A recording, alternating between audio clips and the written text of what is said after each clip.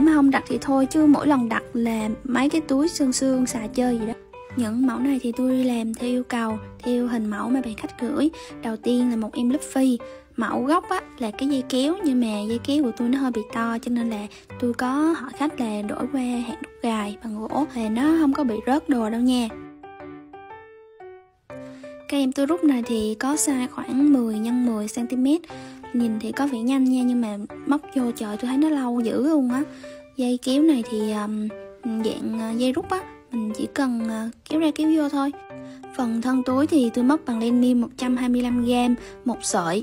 Còn cái phần dây thì à, tôi chập đôi sợi lại để khi mà mình dùng lâu nó không có bị giãn cái dây của mình ra và rút lại nó cũng chắc giữ được cái miệng túi nó không có bị tuột ra tuột vào. Cái mẫu túi rút này thì có thể làm thêm dây để mà mình đeo chéo nha.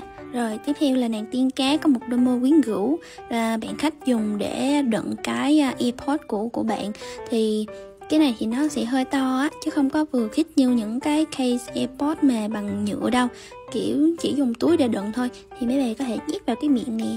Còn những cái túi còn lại thì tôi nghĩ là dùng để đựng những cái đồ uh, nhỏ nhỏ xinh xinh á những cái món linh tinh mà mình sợ nó rơi nó mất á thì mình gom lại mình bỏ vào túi để cho nó khỏi bị thất lạc. Ba cái túi rút kia thì dễ rồi không có cần chạc hen. Còn cái lớp phi thì tôi làm theo chạc tôi tìm được ở trên tiktok. À, còn cái um, má nàng kiên cá mà mà hỗn này nè ở trên youtube có hướng dẫn. Còn những cái mà chi tiết phụ như là tóc hoa rồi ngôi sao rồi cái áo díu á thì uh, Ừ, nhìn theo nhìn theo rồi làm thôi. Vậy nha bye bye.